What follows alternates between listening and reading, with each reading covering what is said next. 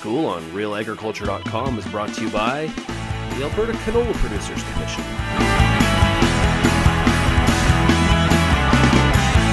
We're joined right now on realagriculture.com Murray Hartman with Alberta Agriculture. Uh, Murray, Farm Tech 2012. You gave a presentation today about canola rotation. What was your message to the group? Well, my message was is basically a flyover of the prairies and based on crop insurance data, what is the actual kind of intensity of canola rotations across prairies and what is the yield impacts. And for the most part, it's pretty consistent, surprisingly consistent across the prairies that canola rotations are being intensified by going to a canola with a one-year break, generally canola wheat, and then in some of the areas, canola and canola is becoming a little more popular. Now the yield impact is canola and canola is pretty consistently 15% less yielding than any of the others. So there is a yield impact, but that could be overridden by economics.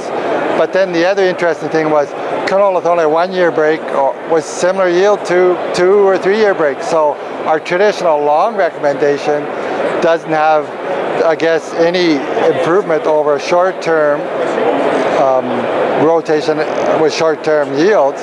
In the long term, though, there could be consequences of a disease getting established a lot more quickly. For example, clubroot in central Alberta. So that was kind of my message is that this is what's happening, this is the impact, but these are the kind of considerations that you have to.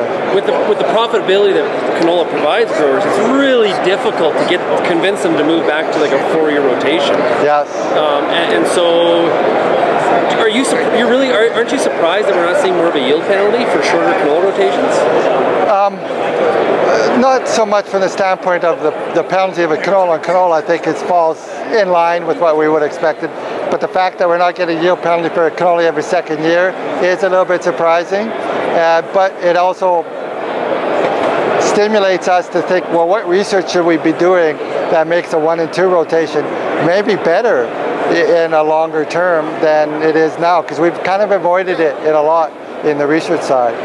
So if a grower is going to grow canola every two years, every three years, what are some of the things they should be doing to make sure they're managing that shorter rotation properly? Yeah, that was the last part of my talk, and I hate giving advice to somebody to do a short rotation in canola. But I said, if you're going to do it, to me, there's a couple of really important things.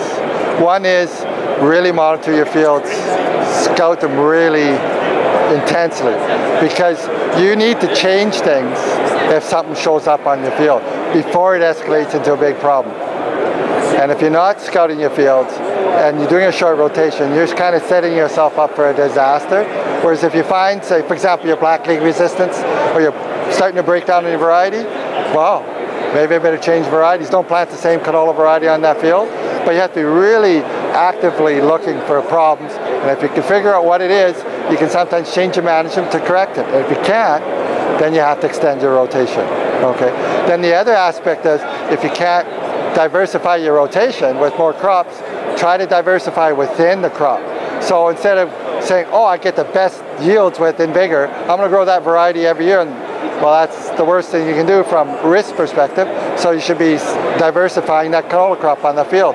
So you change herbicide tolerant systems, change varieties, so you're diversifying what's happening in that crop or in that field.